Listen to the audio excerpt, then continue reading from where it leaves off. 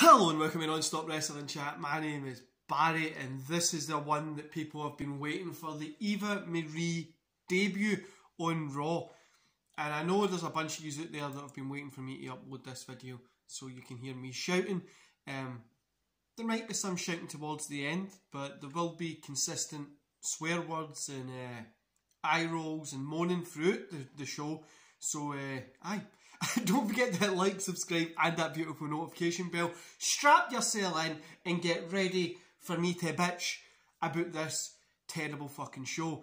Right, guys, so we kick off Raw with Alexa Bliss. Nia Jax walks into frame and challenges her to a match. Alexa laughs it off and accepts. The first eye roll was inserted here because why are we doing this? What is Alexa doing? What even is her powers? What are we doing? Where are we going with this? Why is this a thing? I feel that they this worked a little bit and they just went full bold with it and knew the fuck knows where the fiend is. They're just like, let's keep going. But I then Charlotte Flair versus Nikki Cross because we had to see that again. Obviously, Nikki Cross ended up getting the win because of uh, Rhea.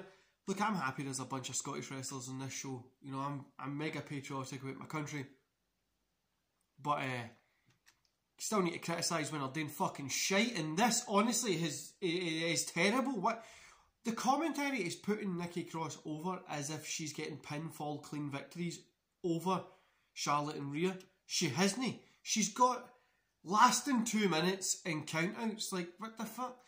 One star for this. Aye. So after it, Charlotte comes back in the ring, beats the shit out of Nikki Cross. Then Rhea comes in and saves her.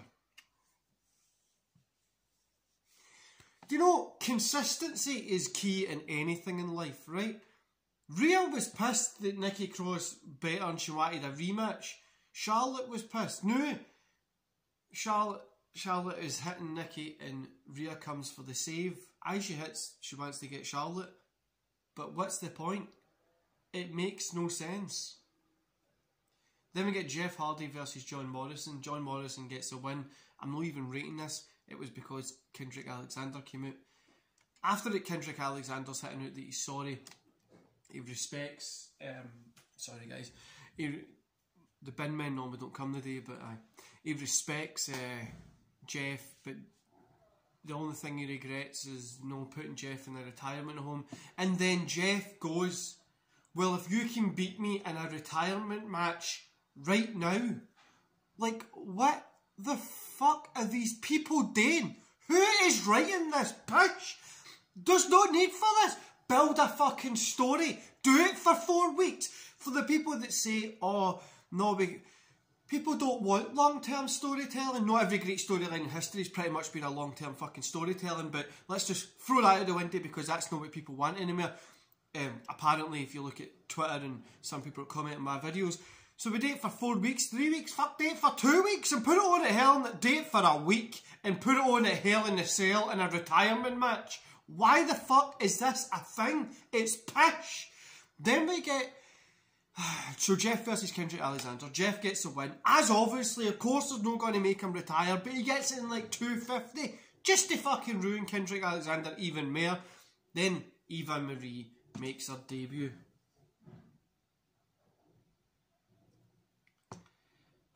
And she's not alone. She's there with Piper Niven, another great Scottish wrestler. But why the fuck is she teamed up with Eva Marie? Piper Niven and Eva Marie versus Naomi. So it's Piper versus Naomi. Piper gets the win in like a minute. So you're telling me you're throwing a great wrestler like Naomi under the fucking bus just to put over Piper Niven who Eva Marie is teamed with. Is anybody else getting the whiff of what they tried today with Eva Marie and Nia Jax and it was fucking disastrous? They're, they're just going to do the exact same thing here.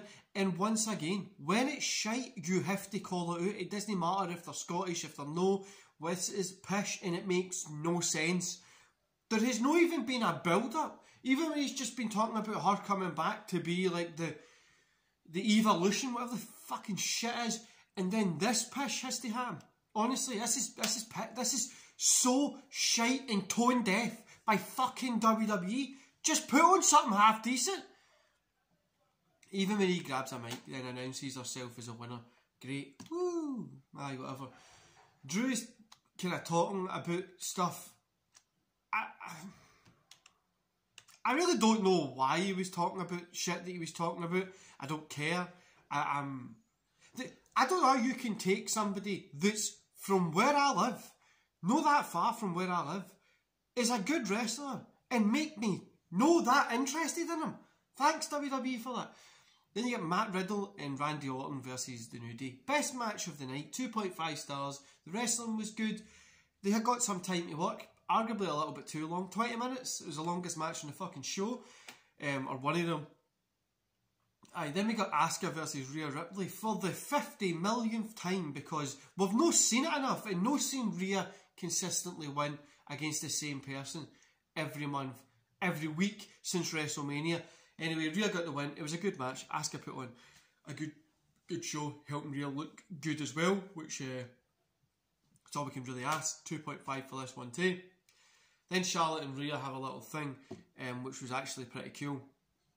But I'm no int- I'm no buying into Charlotte versus Rhea, and I swear to God, I, I just I, if Charlotte gets a win, it's just going to be a slap in the face, really, isn't it? But then it's like Rhea doesn't even seem like the fucking champion anyway. Then Alexa Bliss versus Nia Jax. Alexa Bliss wins, wins what wins via TQ. I'm not going to rate this, guys. And again, I'm going to reiterate, what the hell is Alexa's powers? Which she sta- after it, she like stares at Reggie, and then he stares at her. The turn heats, and then turns to the side. She leaves the ring, and then he snaps out of it. What the fuck is the power? What are you doing? Why has she got powers? Nobody's explaining this. Oh, it's a PG show. I don't care if this is a fucking PGU. This is child friendly cartoon morning. This is pish, and kids will find it pish, I know. The only reason it made wrestling good was people could look up to it and be like, I want to be like this, or I want to be push the envelope like these guys. Fucking. Then you got Eli versus Jaxson Ryker. Aye, no. AJ Styles versus Drew McIntyre. Drew gets a DQ win. Two stars. It was actually a good match right up till the end, but when it was a DQ finish, so who cares? Then the Viking Raiders come out attack Lashley. And you know how that turns into the Viking Raiders and Drew versus AJ Omos and Bobby Lashley. Drew and the Viking Raiders get the win. Two stars. Right, I, it was okay show, an okay match, okay wrestling. Um, all I'm going to say is if that match seemed through together is probably because it was booked there it seemed like it was booked when somebody was doing a shite and just came out and went, why don't you do this? Overall, 1.5 stars, 1 star, nothing.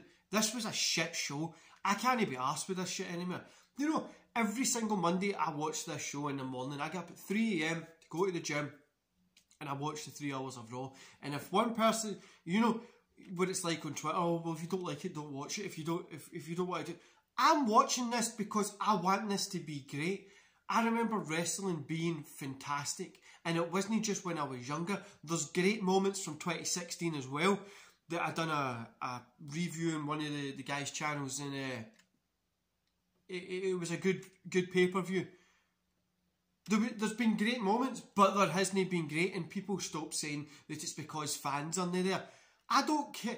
People put on great matches in front of six people. These guys are there's no fans there, right? I know fans, but there's a million people watching at home. So there's a million fans there. This was pish. This was really, really pish. It was bad. The Orton and Riddle stuff is the only thing I'm tuning into Raw for at the minute. I don't give a shit about Drew McIntyre against Bobby Lashley. Do you know, I wasn't a big fan of Bobby Lashley being the WWE champion at the start. I just feel he's not being goosed right. He has to go against somebody that's going to make him, that he can look good against. And him against Drew, they did do a good match, but that was at Mania. Let it go. We, what they have done hasn't been that fun since Mania, and I would love to see Bobby Lashley go up against, put Bobby Lashley against Shelton Benjamin, Bobby Lashley against Cedric Alexander because they broke up the Hurt business. Bobby Lashley against Orton, against Riddle, again. Do you know what I mean? There's a bunch of stuff that you could do small storylines leading up to a bigger one when you can have Drew and Bobby Lashley go against each other at SummerSlam again instead of from having these two wrestle each other all the way to there. But guys, why have they put Piper Niven with Eva Marie? Why are they building Nikki Cross as if she's she's getting clean pinfall wins? Also, why did commentary? Why did commentary no know who Piper Niven was? Like act like they didn't know who it was. Are they saying that NXT UK is that boring to watch? There's no point in us fucking watching it anyway because they're not watching it, which it feels like as well. I don't watch NXT UK often. When I do, it's always fun, but I always forget when it's on. Then I just save up a few episodes and I'll whack it on. But casual fans aren't fucking watching NXT UK, so I get where commentary's coming from. But all they have to say is she's from NXT UK and put it over a wee bit, or are we going to forget that part of the history and just be like, Eva's the, the woman who, honestly, fuck this push. This fucking show is shite. And I, did, Riddle and Orton are the only good things going on in this thing. And the rest of it is, it's fucking disastrous to watch. Now, I know there's been a lot of swearing and I've pretty much shouted for the past 11 minutes, guys. But what really gets me is, right, and I've said this so many times, I love wrestling. I love it. I watch it daily. Every day I watch something. A match, a promo. I have the WWE network on in the back. I normally fall asleep with it on. Or if I'm at the gym, I'll put something on. If I'm out for a run, I'll listen to some sort of wrestling podcast or something. It's something that I love. And it's just getting so hard to participate in watching these Monday night fucking Raws, and it's just getting so so shit at the minute to watch this, and people can't defend. People can't sit and say, "Oh, Piper Nivens came up. That's good." And that's it. It's a three hour fucking show. You can't define one person making a fucking debut and this is meant to be a good show. This is meant to be the stable, the staple of wrestling, Monday Night Raw, the bet WCW that's been there for so long. That's meant to be the best show in wrestling. And this is what we get. Shite, utter pish. And I don't care if people need to say you're just a mark, you're, you're this, you're whatever.